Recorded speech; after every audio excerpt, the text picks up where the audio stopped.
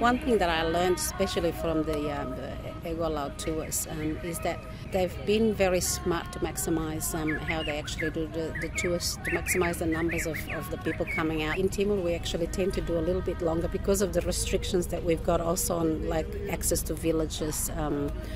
that are quite far because we're right in the middle of a city and um, there's a lot of transit and um, you know it's very difficult to run tours that are very short. But um, the fact that they've maximized the, the, amount of buses that they've got and tried to do like three tours a day that just means we're getting a lot more people on those guided tours. Uh, and that was uh, something that for me was like I have to go back and really rethink my product yeah the biggest highlight for me was the festival that they created yesterday that was um, I know it was organized um, and it was a lot of concentration of people in, in one area um, from different tribes, different dances and demonstrations and souvenirs.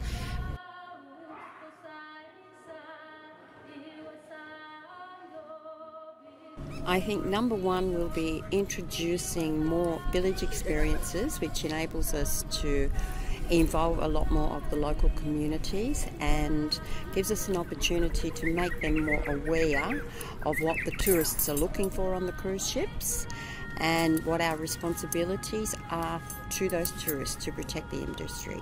Definitely the village experience, um, the traditional food, and then the way that they were able to share tradition and culture with us, including the amazing canoe story um, that goes with part of this area and their local traditions.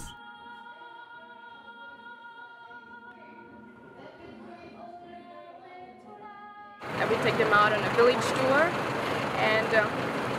we also, before we go to the village tour, we also take them around uh, town to show them a glimpse of what Alotau is like. Everybody says it's fantastic, it's brilliant, it's the best experience of being in PNG for the first time, to see the real life in PNG. Some tourists are just like speechless of what they see. Whoever that comes to Alotau, it's something that you'll never experience in a whole lifetime. The number one for myself to, uh, that I, I feel like this is very important for me is that um, the cultures of um, uh, Alotau is, uh, is still uh, really strong. So when the visitors come here, they may look at the people. People are so friendly, and then they show their culture and then their livelihoods and uh, no no problems here. I have, have been walking um, since yesterday